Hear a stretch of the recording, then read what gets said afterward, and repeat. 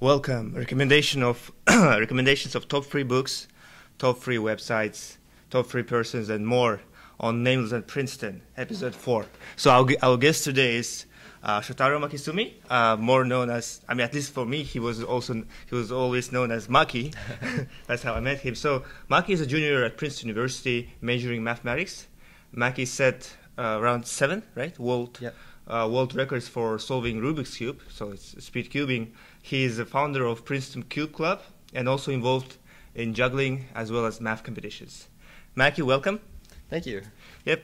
So, 私の日本語がまだまだ上手じゃないから、上手じゃないから、うん、今日は英語で話しましょう。わかりました。英語で。Uh, but I hope sometime when we like episode, I don't know, 100, hopefully uh, I will be able to speak Japanese. uh, we'll see how it goes. So without further ado, let's start off with top three books. Okay. Let